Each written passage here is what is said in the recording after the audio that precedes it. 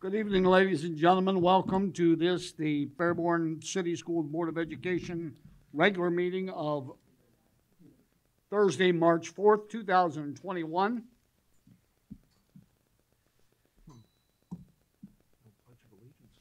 Uh, normally, uh, we have one of the students lead us in the pledge, but I'm gonna go back to, uh, maybe an old student and a friend and a friend of the schools. Lori, will you, uh, lead us in the Pledge of Allegiance? Pledge allegiance to the flag of the United States of America and to the republic for which it stands, one nation, under God, indivisible, with liberty and justice for all. Thank you, Lori. It's a surprise pledge. Mr. Frylow, can we have the roll, please? Mr. McCourt, Here. Mr. Browning, Here? Mrs. Malad, Here. Mrs. Ms. Reister, Here. Mr. Wilson. Here. Item number three is to approve the agenda as presented. May I have a motion? So moved. Thanks, Jerry. Andy, thank you. May I have a roll call, please? Mr. Browning, Yes. Mr. Wilson, Yes. Mrs. Malad, Yes. Ms. Reister, Yes. Mr. McCourt. Yes. Motion carries.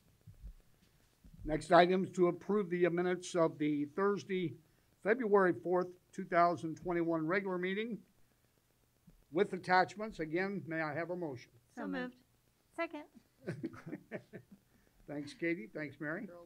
And a roll call, please. Ms. Reister, Yes. Mrs. Malad, Yep. Mr. Browning, Yes. Mr. Wilson, Yes. Mr. McCourt. Yes.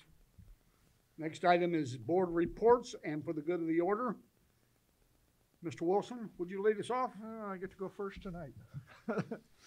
uh, first of all, I'd like to give a really big shout out to uh, Amy Gayhart uh, for her efforts in leading the uh, first COVID vaccine uh, clinic that we had here at the high school.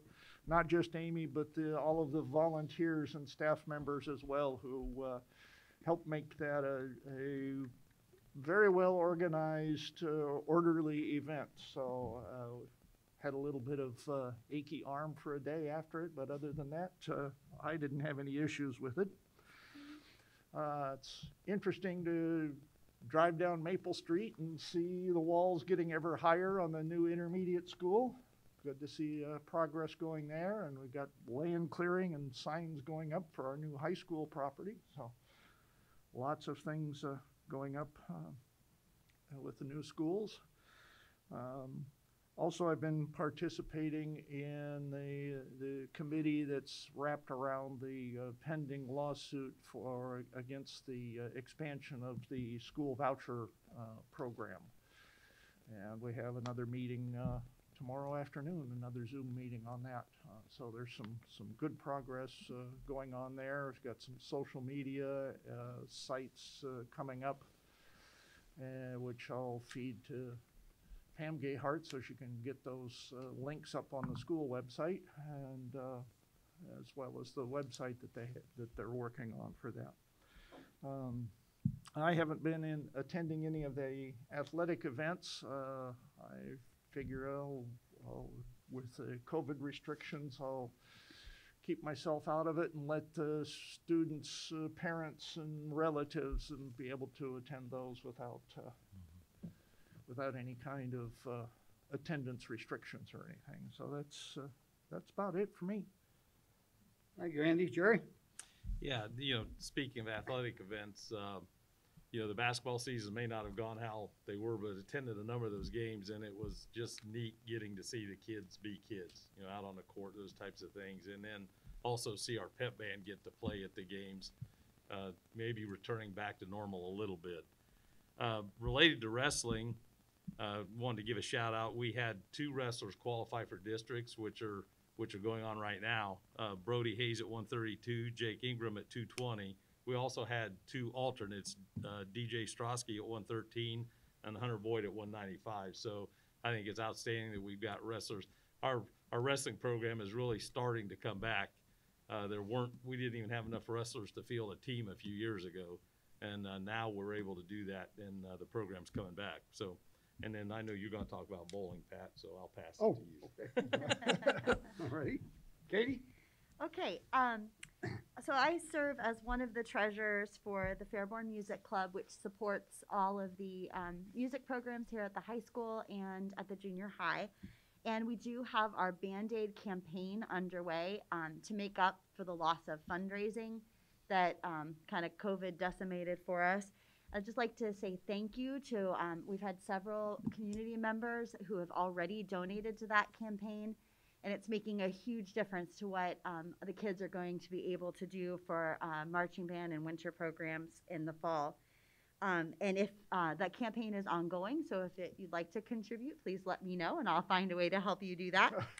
um, in regards to um, music programs, the Winter Drumline and um, Winter Guard are going on, and the uh, Drumline got to perform for the first time at Trent Arena this past weekend. The Winter Guard was their second um, competition, and they've received superior ratings for both uh, performances that they've done so far. So we're very proud of them. And uh, the marching band kickoff. It's hard to believe we're starting to think about fall already, but it looks like we might actually get to be on the field and perform coming up, and that's going to be March 22nd um, here at the high school. So I'm looking forward to seeing parents and families back out to um, get excited and uh, for doing that again. And then lastly, um, March is Developmental Disabilities Awareness Month. I myself am a special education teacher, and I'd like to give um, a shout out to my colleagues in the district who work so hard uh, to support this population and um, show these special people so much love. Uh, this population of people is a cause that's near and dear to my heart, and I just want you to know that I see you and I see the efforts that you're putting forth every day. So. Thank you, Katie. Mary? Um, so basketball, um, we actually ended uh, the season uh, for at least the boys um, better than we have in several years past. So we're on the upswing there, building a solid program. Spring sports are well underway, and it's again exciting to see kids getting out there and being able to be active and be normal and socialize and do all the things that high schoolers do. Um, it was really cool to see all of the kids lined up on Dayton Yellow Springs watching the alien drive the plane down Dayton Yellow Springs. Um, so it was great to see the excitement in their faces to be able to see that it's not every day a plane drives down the road. So, so that was exciting. And then um, just a fishtail on the whole uh, music club program. Uh, May 21st is the scheduled Jazz Fest Ah, yes. so um, I have a uh, I have a vested interest as I have a freshman in in the jazz band. So if you uh, if you stay tuned, you'll start seeing some information about that as well. And I need donations for basket raffles. Please see me about that too. so uh, I'm just excited. Uh, it's it's warming up and the kids are getting outside and they're able to do the things that kids do. So it's good stuff, and I'm happy that. I'm happy that we're finally moving towards some sort of normalcy again. So. Thank you, Mary. Um, couple things I have, uh, first of all, would like to welcome back Gene Lawley, who, uh, has been off, uh, a little Call you under the weather here of late. But it's good to have you back and, um, in talking with your wife, it's very good for her to have you back. But, um, also, uh, just to talk about the bowling group, the boys did not advance. Um, the girls fell short I think by about ninety-eight pins going to state. But we do have one state qualifier, and that's Natalie Hanson, and I understand she'll be bowling tomorrow. Uh, we can't get up and see her because of the COVID, of course, but, um, we have our snitches out there, and they'll be sending us, uh, all the information as soon as it come, uh, becomes available.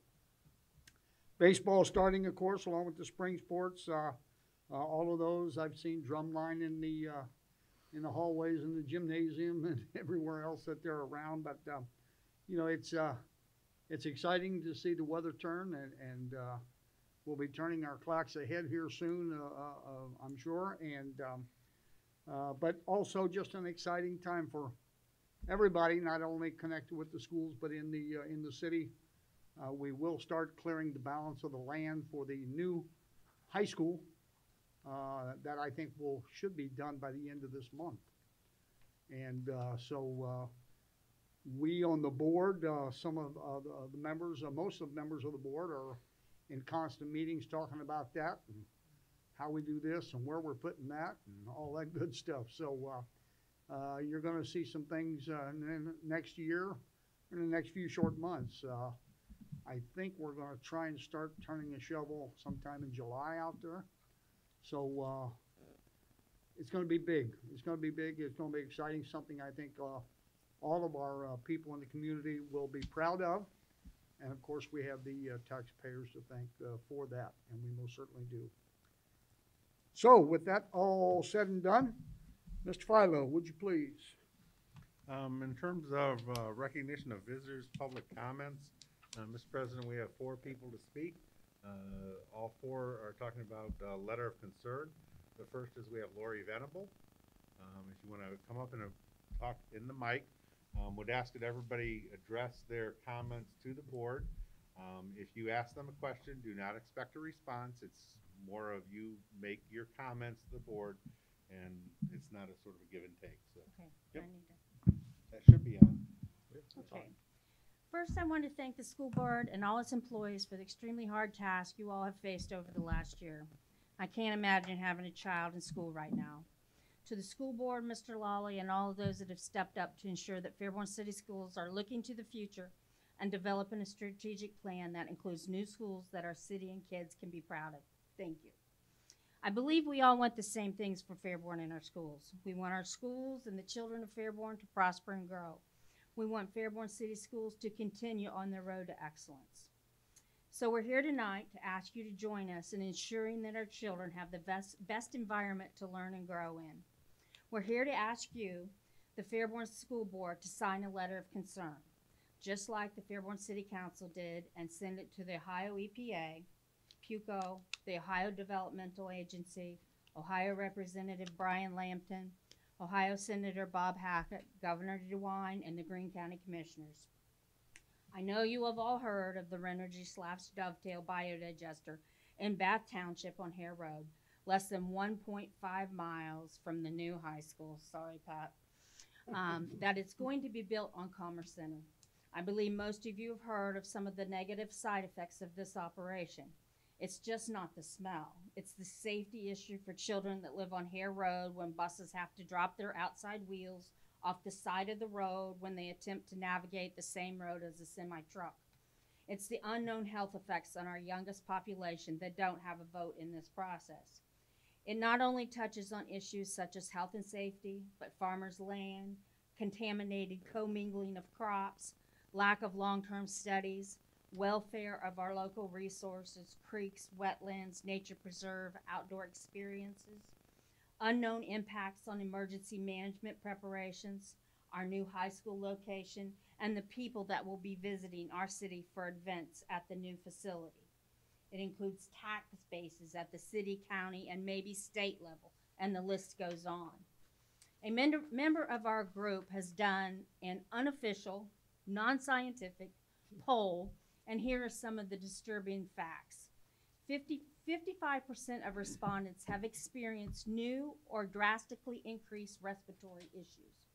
52% of respondents have experienced new or drastically increased gastro, gastrointro, I can't say that word, issues. 68 have, 68% have experienced headaches and 62% have said their household's health has gotten worse since being exposed to the biodigester that has come to town. This is affecting our children. So let's talk about dollars that are affected by this facility. This issue mainly affects the east side of Fairborn, where all the new housing developments are going in. This is the population that supported the levy for the new high school. So let's go back to the survey I spoke of before. 72% of the respondents said they have already begun the process to move, or at least talking seriously about the possibility. 78% of the respondents said they have known about, had they known about the biodigester prior to moving to Fairborn, they would have definitely avoided, or it would have been a major factor to look elsewhere. If Dovetail wins in the court to be labeled a public utility, then they will not have to abide by township, city, county, or state zoning regulations. They have already purchased land on Byron Road. And in, in 2019, they submitted plans to open two new lagoons totaling over 32 million gallons of sludge. They only have 5.5 million gallons on Herr, and that's closer to the high school. If they're allowed to proceed with that expansion, we anticipate a mass exodus from the east side of Fairborn. Property values will plummet, affecting the tax revenue, and enrollment in Fairborn City Schools will also see a downward spiral. We can't let that happen. Fairborn has worked too hard to allow one company to come in and destroy what has taken years to build. Let me leave you with one last bit of information. Dovetail paid less than $38,000 in property taxes last year. Only $24 $24,000 to the schools. How much do you stand to lose if East Fairborn has a mass exodus? I'd like to share with you um, one um, I'm sure you've seen on Facebook. You know, we we have a group. We're attempting to work this issue. Uh, there's been a lot of talk about what we can do, and one person mentioned that why are we focusing on that? Why aren't we focusing on crime and things downtown? And one lady put it very succinctly. She said, "You're not going to fix all those things if all the new construction areas in town smell like human feces." You run all the people out of town that can afford to leave and leave people who can't afford taxes to fix the town and statistically more likely to commit crime. This is a very serious issue for Fairborn. I'll be going to these meetings every time if I if I did not have health issues. We are looking to buy another home and this is one of the things causing us to look elsewhere instead of just concentrating on looking at Fairborn. So we're already seeing people, you know, list their properties and think about moving elsewhere. So I just thought you guys should know. Thank you. Thank Thank you. you. Thank you, Lori. Um, next we have Jake Fulton. And we'd ask people to limit their comments to five minutes. At the five minute mark, I'll hold up the timer. So when I do that, just kind of wrap it up. Hi there. My name is Jake Fulton. I work for Fairborn City Schools. My wife and I have lived, uh, well, we've owned the property on Byron for almost 10 years now, but um, we've only lived there probably five, six years. We remodeled it for three years before we moved in. So, my property, out my back door, it'd be 212 meters to the edge of the first lagoon if it were to be built.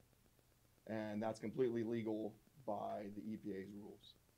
So a little bit on Dovetail. Um, so they sold this to the local farmer as we're going to take all your your animal waste and turn it into fertilizer, which is not much different than what a lot of other farmers do.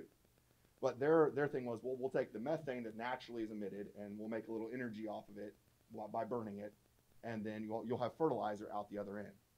That sounds awesome and perfect. And there's dairies up north that do it, but on a much smaller scale. This digester is is is huge compared to the amount of waste the farmer makes. So what they've done is they're bringing in industrial waste, they're bringing in human waste, and they're bringing in bio um, like food waste, things of that nature. It all gets mixed together, and what comes out the other end, they really can't tell you. Like they have a good idea what's coming out, but they don't know. And so if they were to run their generator every day of every hour for a year, based on the average kil- kilowatt, they're somewhere in the three hundred thousand dollars worth of energy a year is what they would make.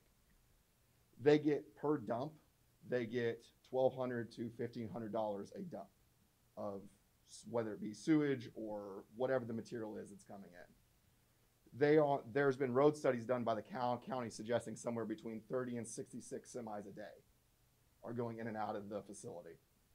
So they're making far more money off the dump fee than they are what comes out the other end.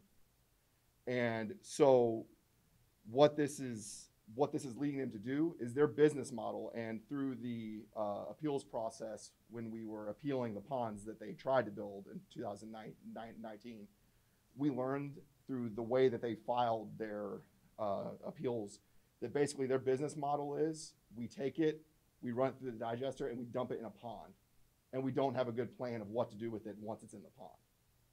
So there is no exit strategy. There is no, they can't get rid of what they have now and then they want to add more to it times five or six. So it literally is going to become a 30 and when you know she's talked about the size that if you put them both together you're looking at um, i think it's 20 acres by 10 acres or 15 acres 20 feet deep. I mean this is a very large facility. And so i think we're coming here tonight and asking you to sign the letter. It, it's more of they they say it's just a few disgruntled people. And they've put this in their news presses. And every time the, uh, WHIO asks for a response, it's like, well, it's just some some disgruntled citizens, and that's not the case. I mean, it's all of Rona, it's all of Weatherford, the Bluffs on Trebein is getting it, and the city can only expand east, and we're expanding right into a potential disaster. And so, this is more giving people. It's another way that you can give the people that have been fighting this in the community a, a, a bigger voice by saying, yeah, th- there's issues here and this needs to be addressed. And so I think that's what some of us are here doing tonight. So I appreciate it. Thanks, Jake. Thank you. Next, we have Luke Borntracer.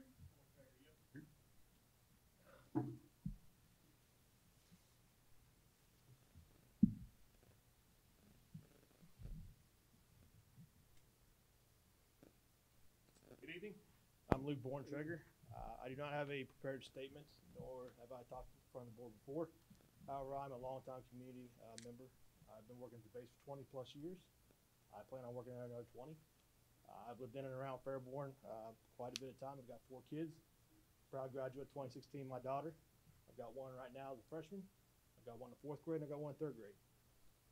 I am invested in Fairborn. I'm invested in the area. Uh, I lived on base for a few years, a couple different locations. Moved out to the far side towards lived in the city of Dayton, but stayed within the city of Fairborn because I like the school district. Got to the point to where I grew my my lot. Um, needed to get the kids out. Definitely four kids they need to run. So I looked for a larger property. Found a great little spot. I thought out on Herr Road. I moved into that location. Not even four days later, there was this tremendous smell. I knew there was a hog farm right next to me. Now, I've grown up around hog farms. Out in Indiana, I grew up. I lived two miles from a hog farm. I knew the smell very well. My dad raised lambs and hogs growing up. My mother-in-law owns a, a, uh, campground up north, directly across from a hog farm. I'm aware of what hogs smell like. The smell is definitely not hogs. It is definitely not agricultural. Had I known what I was getting into, I definitely would not have moved to the area. A lot of folks in the Rona Hills are expressing their same result. They have moved into the area not knowing what was there. They got there and now they're kind of stuck there. Now, prior to moving in, uh, but now that I've moved in, I should say, the folks that are there and operating this have have basically told me, said, hey, you know what you're getting into. You moved there, you know what you're getting into. We're about to build a great new high school coming down, right down the road from us. Did you go out and do a 24-hour air sample for, for a year back? Did you go out and do a, a water sample? Did you do soil sample? Likely, no. You probably did more of analysis of how this in relation to the folks, where the community is growing to, relation to the highway, things that are feasible, things that you look at when you buy a property. The folks that operate out on Herr Road somehow believe you don't have the right to clean air. You don't have the right to clean soil. You have no right to clean water. You should be checking on these things before you move anywhere. Now, to me, that's completely false. If you look at the digester, you look at my property, you draw a line and extend that a mile and a half out, is it directly in line with the school? Now, you will not smell this all the time. But I guarantee you, when the wind blows to the southwest and a high pressure system is set in and push the air down to the ground, you will smell this. The high school will smell this. I've been out here at football practice a couple times and I've smelled it. Further away than what I am right now. Further away what you're going to do in the future. But that's the future. That's what's coming. That's what we're going to build. We know it's there. We know we're going to build a high school there. We're going to enjoy our high school. What are you doing today about it? What's going on today? It's not really affecting us, correct? Wrong. Every day I watch numerous buses go up and down Herr Road. Yesterday, 3:33 p.m., my two kids were on the bus coming home. My wife's walking out to the end of the lane to get them. A semi truck is going down her lane, Herr Road. As it did so, it forced the bus off of the road. Right-hand wheels were off the road, both front and rear. Unsafely operation. Now, this may have been a one-time thing, right? These back roads are not designed for truck traffic that way, but hey, one time, right? Let's talk about the actual traffic on Herr Road. I perform my own, I've taken this issue to Bath Township numerous times over the past two and a half years. And it is falling on deaf ears in Bath Township. It averages about fifteen trucks a day coming in. Average. However, there's modes of operation, days of operation, where I've counted as high as seventy-nine trucks. Almost eighty trucks a day, in and out, hundred and sixty passes. Now imagine, if you will, watching this, you have two trucks right in front of my driveway passing. I've got one dropping its wheels a foot off the driveway on the far side. Another one with its two foot into my driveway. My kids stand right there every morning. Now I keep them off the road, of course. And I've talked to the trustees. And I asked them, you know, hey, are you worried about this? What's your solution? Their solution? Keep your kids off the road. It's not our responsibility. Don't take my word for it, though. As Jake mentioned, the Greene County engineer came out and did a study, traffic study. Looked at what was going on on Herr Road. And the conclusion was, there's way too much traffic. That road was not designed for it. That road is not wide enough for it. Yet every day, we have at least four buses up and down that road, picking kids up, dropping them off twice a day. And every day, there are trucks up and down that road. If you pull onto Herr Road from two thirty-five, right down to the right-hand side, it slopes down. Gets to a point where it's almost a five-foot drop. Have the bus drop its wheel off the right-hand side, and it will tip over. A lot of stuff going out there, and we really appreciate you all. Don't just ask us, talk to your drivers, ask them what they think. We appreciate your all support. Thank you very much. Thank you, Luke. Thank you. Thank you. And last, we have Marilyn McCauley.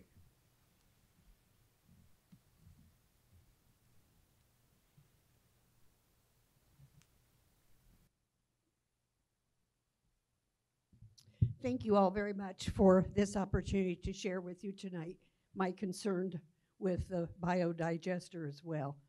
Um, I've been in this town since, I think 69, I've kind of forgotten. But I've been here so long, I now have great grandkids in the school system. So that gives you an idea how long I've been here. Um, I've watched this town and this school system go through a lot of ups and downs. And when I came back here in '03 from DC after been living up there for 13 years, the schools were pretty low. The city was pretty low. Um, and I watched them go lower.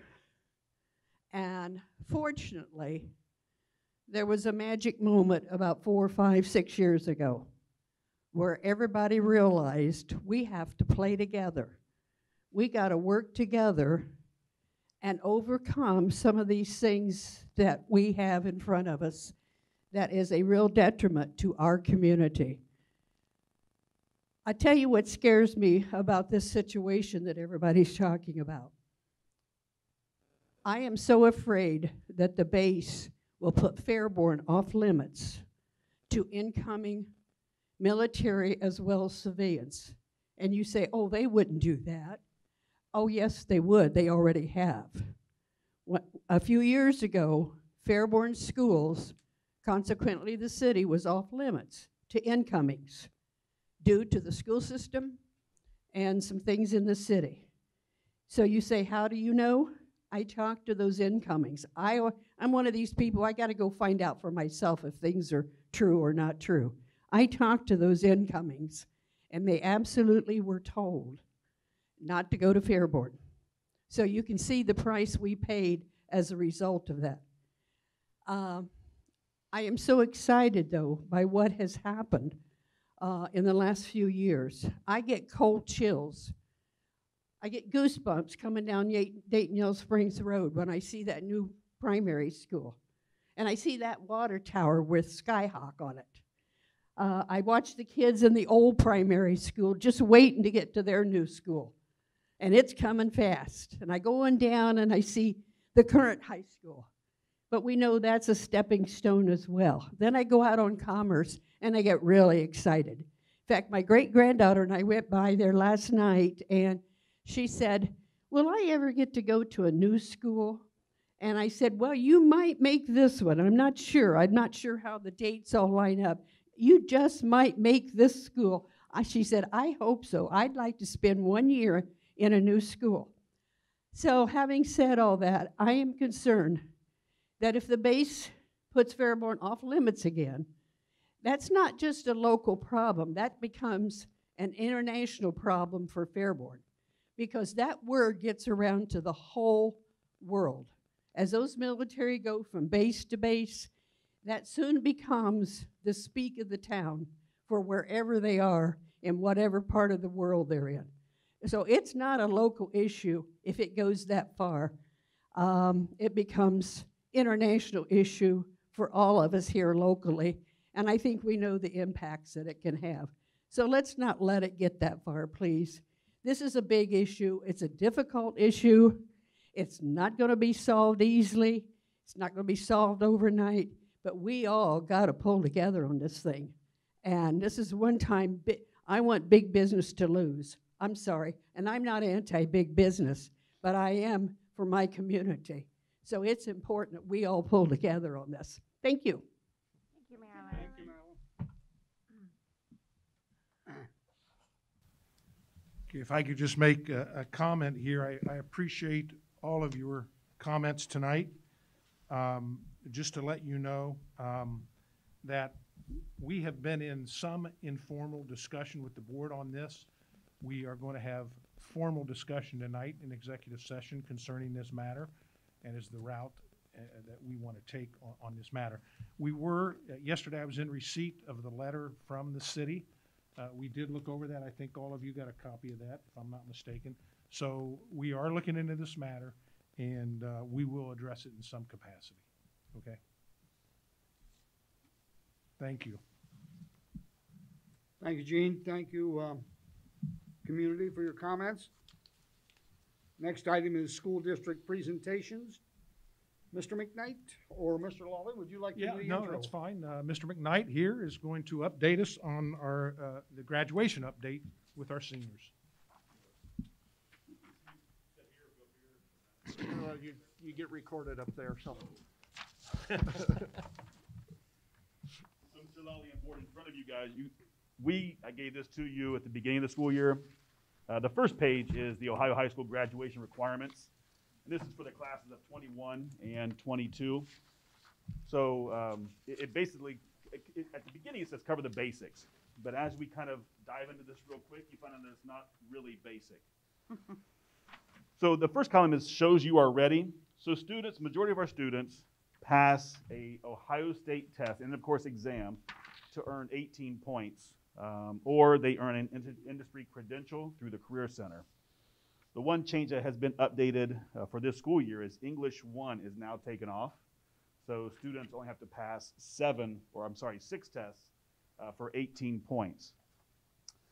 So if students don't, are not able to get their 18 points, earn an industry credential, uh, workforce readiness, or earn a, a remediation-free ACT and SAT score, they can earn a diploma some other way.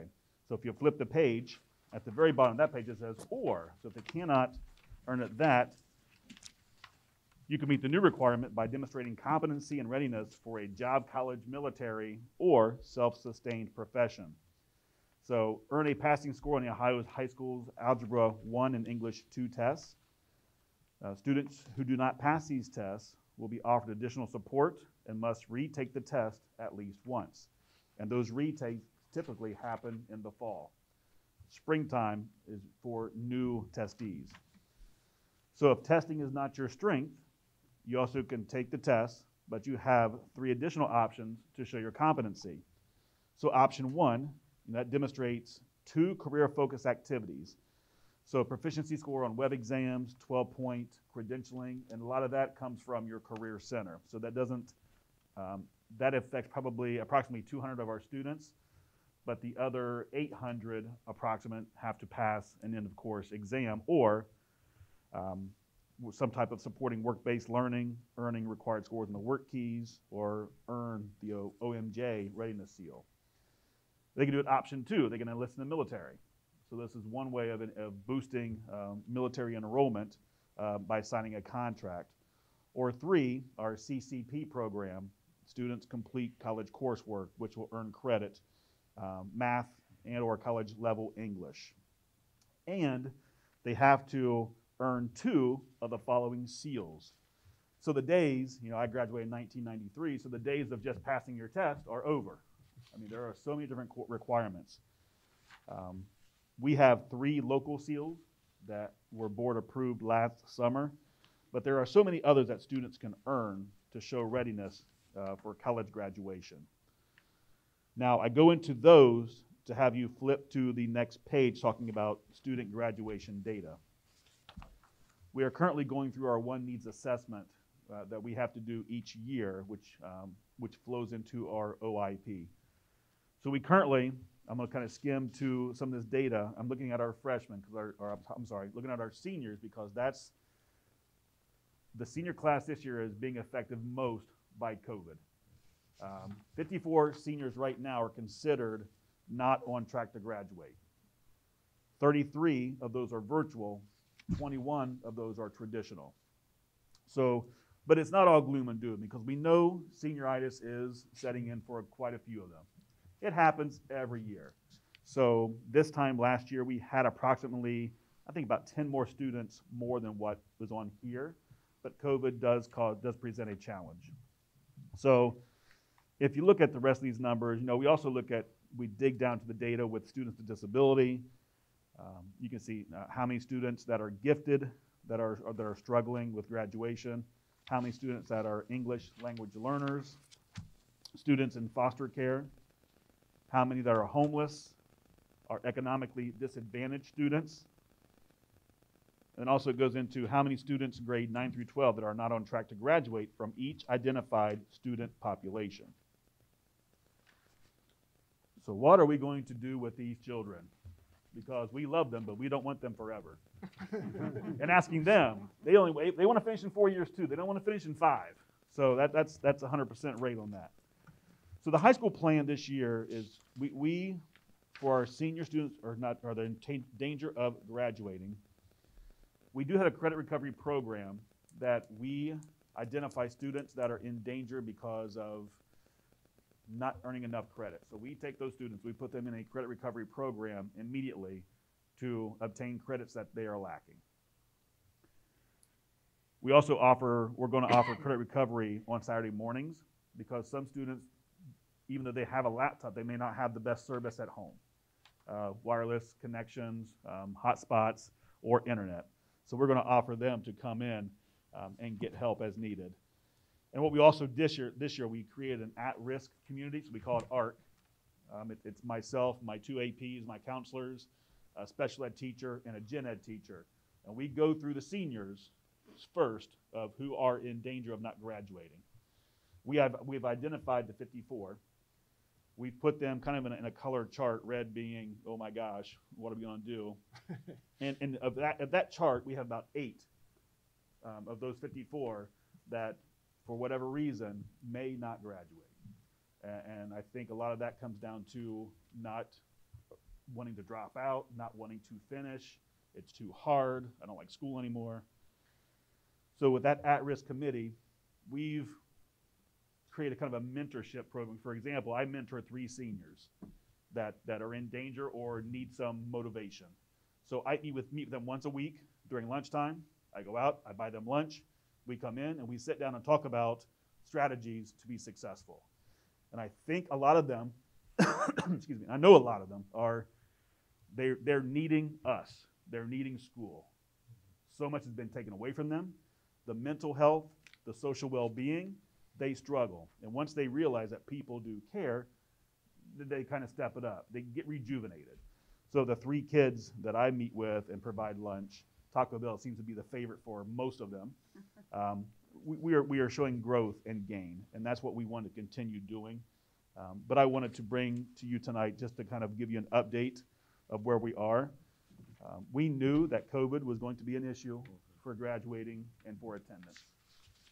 Um, we are we are dealt what we're dealt with, but we do not give up on these kids at all. Uh, I tell the parents and I tell the kids, when you walk in the building, I'm gonna treat you like I would my own kid. You're gonna get the best teaching, you're gonna get the best experience possible, but our main goal is to get you graduated. We're successful, it is your turn. So that's what, that's the constant message that me and my staff send to our students. Um, so with this information, I'm gonna pass, it. does anybody have any questions? Just thank you for the extra efforts for these kids, because Right. it's, it's, I, I, it's gotta be a tremendous challenge to get through to, to some of these, so it's, thank you very much Yeah, to thank you you. and your staff for those efforts. Thank you. Yeah, I had the same concern on what COVID had on the impact of the kids and the numbers and at risk and stuff, so it's good there's a process in place to take care, you know, try to take care of it. Thanks. Mm-hmm. All right, thank you. Thank you, Brian. Thanks, Brian.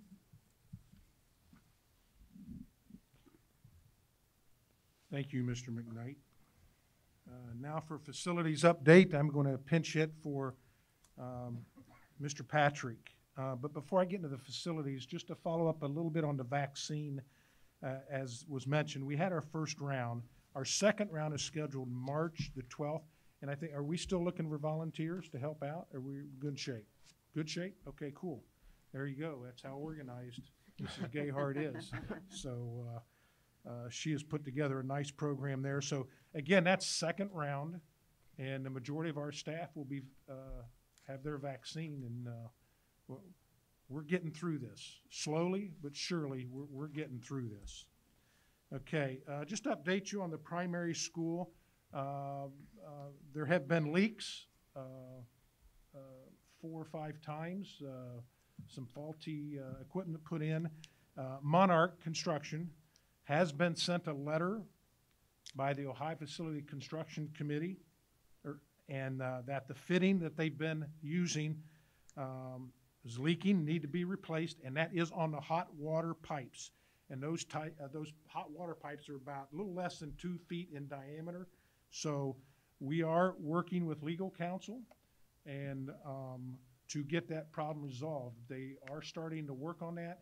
That'll go into the summer, replacing a number of those parts throughout the building. So we're trying to get that problem corrected slowly but surely. The new intermediate going up on Maple. I'm happy to say that we're 17 months out from going into that building. Uh, and, and, and Marilyn, uh, just to echo what you said, this is truly exciting times. And it's important, I agree, that we all work together, and we're gonna continue to work together, the schools, the city, and this community, and hats off to our taxpayers of this community that, that have made this possible. So we are making progress. February was a little bit of a slow month, as you know. It was the coldest month of the winter, but I think we're through that. They're a little bit behind, but nothing to be alarmed about. So hoping March, this is March the fourth, so hope we will get, uh, some pretty good weather. I did see a wall going up yesterday that was braced, so there is a wall, uh, block wall that is being constructed as we speak. So again, exciting times. Again, we're 17 months out of moving into that. Uh, the current high school board members, uh, you do have an emergency resolution on tonight's board agenda to replace the air A- HVAC system here at the high school. Uh, due to time restraints, um, we're progressing pretty quickly in order, uh, in ordering the materials and hope that that does not get delayed. Uh, hopefully, Jake, uh, is a part of that. Our maintenance guys could start some of the work during spring break. And, uh, Weibel will be starting that work in April. So we have hired Weibel to do that work. The future high school, again, exciting times. Um, we have started the first round of um, department meetings uh, the last couple of weeks, and those will run through next week. So, what those department meetings do, we meet with the high school teachers.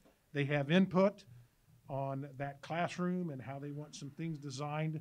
So, we do get their input uh, that we feel is very, very important to the construction of this high school. Uh, Kleinger's, uh, they have staked the property back out, so if you drove along Maple, you can see fresh stakes as to where the property begins and ends and all that, as it goes into the wetlands uh, uh, on the north end. Uh, A curb, I just saw a picture right before the board meeting. A curb has been cut out for a temporary drive to get equipment into the site. And we're gonna start clearing that land, uh, any day now. We're gonna clear the entire site. Trees are coming down, and about seventy-five acres you're gonna see completely cleared. There's also an emergency resolution on tonight, board members, uh, that we're gonna hire Vermillion Tree Service to clear the land by the end of March thirty-first. So we're moving. We hope to break ground, and start shoveling dirt, uh, in July sometime. So, uh, we've got a number of permits we have to get, work through some of that stuff. But, uh, our goal is to start turning dirt for a new high school in July. Um, with that, that's an update on our facilities. Any questions? How many months away are we on the new high school, Gene? Yeah. Oh, yes, thank you. We are, I forgot, I did have that written here. We're twenty-nine months out with the new high school. Wow. Thank you for that. I had that written there and forgot to read that. So Marilyn, what, uh, what class is your uh, granddaughter? Oh, she's Oh, definitely yeah, in. she'll, Oh, yeah. she'll be, in the- She's she'll have good. four, you, she'll have four years in the new high school. Great news. Thank you, Mr. Lally. Item number eight from the Department of Budget and Finance. A couple recommendations there. Uh, hang on a sec, Pat. Sure. Uh, The, for the, for the audience here, uh, this is, we're going into our business section, so if you, you know, you take a If you want it- to stay, but it's not going to be Yeah. any You're welcome to cooler from stay. You're here on welcome to out. Chance to but leave. here's, here's a chance for you. This is the escape pod. Lori, I can't believe you're leaving. We're just getting to the good stuff. Yeah.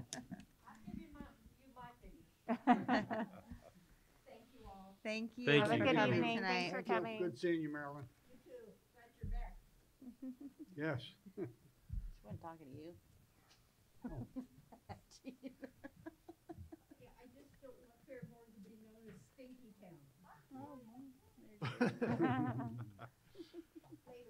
Thanks. Bye, Good Cassie. night. Thanks Bye. for Good coming. Oh, Jake, you're stuck with us? As I mentioned, uh, two items under Budget and Finance with attachments. May I have a motion? So moved. Thanks, Jerry. Second? Thank you. Roll call, please. Mr. Browning, Yes. Mrs. Malad, Yes. Mr. Wilson, Yes, Ms. Reister, Yes? Mr. McCourt. Yes, motion carries. Item number nine, administrative reports and superintendent recommendations. You can see there, and we will continue on to page four. And a part of that, as uh, Mr. Lally had mentioned, resolution on the HVAC here at the high school and the uh, emergency uh, or urgent necessity waiving the competitive bidding on the um, tree service out at the new site. And again, you have attachments on both of those. May I have a motion? so moved. Thank you, Andy. Second. Thanks, Mary. And a roll call, Mr. Philo. Mr. Wilson, Yes, Ms. Reister, Yes. Mr. Browning, Yes. Mrs. Malad, Yes. Mr. McCourt. Yes, motion carries. Mr. Wilson has been uh, asked to give and graciously has accepted the gifts and donations. Andrew? As, as always, we, we gratefully, uh, uh, appreciate the gifts that we receive from members of the community. Uh, we have Cora Craft, a handmade face mask for students, um, or several face masks for students. Ron Julian, one tablet for student use. Amanda Sarzi, knitted hats and headbands for students in need, and particularly with the cold weather, that's very beneficial. And a number of turf field donation. James and Karen Adkins, twenty-five dollars. Tara and Linda Baugh, two fifty. Thomas and Judith Baugh, five hundred. Paul Buford Jr., one hundred. Bob and Deborah Carrico, one fifty. Peggy Cruz, one hundred. Uh, Joyce Dennis, five hundred. Robert and Dorothy Aperio, fifty. Bill and Jane Dorley, one hundred. Joseph Drack Jr., one hundred. Flavor Producers, sixty. Christopher Heck, five hundred. Robert and Ann Inglesby, twenty. Teresa Kinter Buford, one hundred, David McCormick, two fifty, Mark and Denise Minch, seventy-five, Craig Moore, fifty, Arnold Bonnie Penix, five hundred, Sean Quinn, sixty, Lewis and Doris Reed, one thousand. Very generous offer, or donation there. Steve Ross, twenty-five, Gregory Shively Trust, one hundred, Lester and Beverly Smith, two fifty, and hundred dollars from myself. Thank you, Andrew. Board of Education will now go into a, uh, work session. Um,